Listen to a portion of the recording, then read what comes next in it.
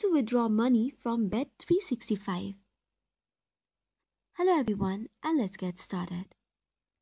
You can make a withdrawal from the withdraw section via bank in the account menu from Bet365.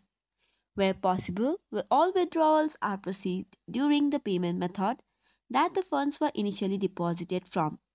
It is advised that you ensure your registered payment method is the method that you wish to withdraw to. So without any delay, let's start the process. You can start up by step 1 which includes heading to my account. It is available on the top right corner of your screen. In the step 2, select the bank icon.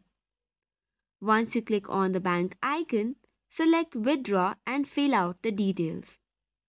After that, you will find out your transaction and you can withdraw from the account. So this is all for today's video. For more such contents, do not forget to hit the like and subscribe button. Thank you and keep watching.